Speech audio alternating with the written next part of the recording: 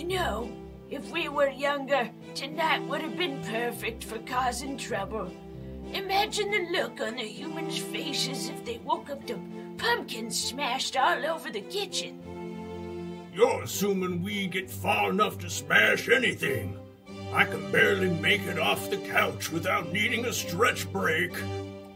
Smashing pumpkins is beneath me. I prefer subtle chaos, like rearranging throw pillows. It's more sophisticated. yeah, I'm sure the humans are terrified when the pillows are slightly askew. Truly diabolical. Call the cops. We've got a menace on our hands. Unlike you two, I still take pride in my disruptions. No need for brute force when elegance will do. Elegance? I've seen you roll off this couch like a giant bag of flour.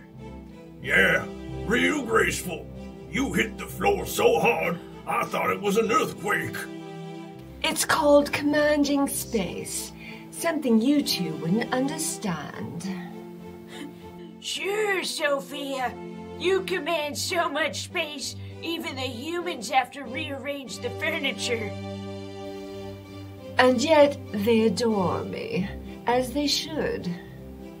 Well, no one's adoring me tonight. I'm staying right here. Let the humans do Halloween without me.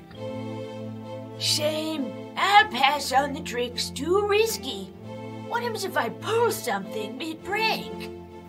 A wise choice. Not everyone has the physical prowess to wreak havoc elegantly. Or the size to block a doorway like a boulder. Or the nerve to pretend knocking over one pillow counts as chaos. Don't mock what you can't comprehend. Subtlety is an art. If art means sitting still and hoping someone brings you a snack, then yeah, you're a real artist. Speaking of snacks, if the humans hand out pumpkin treats, I'm all in. You gonna waddle your way to the kitchen for that, Sophia? Or just roll on in? They'll bring treats to me, as they always do. Probably just to stop you from getting stuck somewhere again. That seems to happen a lot. It's not my fault this house is poorly designed for a figure of such exquisite grandeur. Oh, brother. Happy Halloween, everyone. May your tricks be lazy and your treats come to you.